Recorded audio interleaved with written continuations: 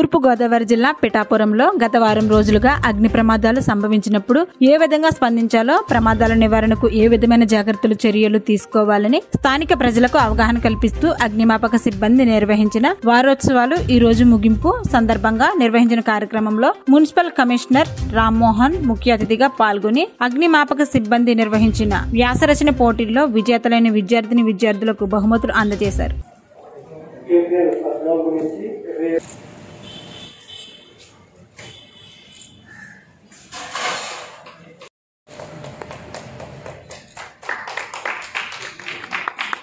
ఈరోజు అగ్నిమాపక వారోత్సవాల్లో భాగంగా చివరి దినమైన ఏప్రిల్ ట్వంటీ రోజున మన పిఠాపురం ఫైర్ స్టేషన్ నందు సెమినార్ కండక్ట్ చేయడం జరిగింది. ఈ సెమినార్ విజయవంతంగా ముగిసింది. ఈ సెమినార్కి ముఖ్య అతిథిగా మన పిఠాపురం మున్సిపల్ కమిషనర్ గారు వచ్చి వ్యాసరచన పోటీల్లో గెలుపొందిన ప్రథమ మరియు ద్వితీయ బహుమతులు అమ్మాయిల్లో ఇద్దరు అబ్బాయిలు ఇద్దరికి నలుగురికి ఆ విధంగా ఫైవ్ ఫైర్ డిస్ట్రిబ్యూషన్ చేయడం జరిగింది.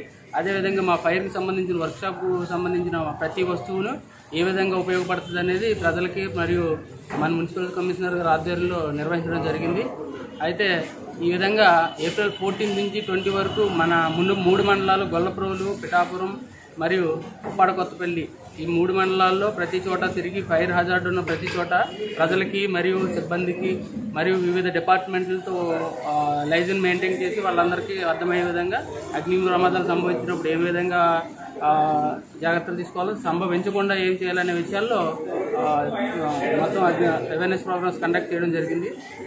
ఈ విధంగా మాకు సహకరించిన మా అగ్నిమాప సిబ్బంది మన ఎల్ఎఫ్ గిరిప్రసాద్ గారికి దుర్గాప్రసాద్ గారికి అదేవిధంగా మా మా స్టాఫ్ మిగిలిన వారందరికీ కూడా మా ధన్యవాదాలు. అదేవిధంగా ఈ ఈ యొక్క వారం రోజుల ప్రోగ్రాం విజయవంతంగా ముగించడానికి మన మీడియా మిత్రులందరూ కూడా సహకారం ఎంతో పూర్తి సహకారం మాకు అందించారు.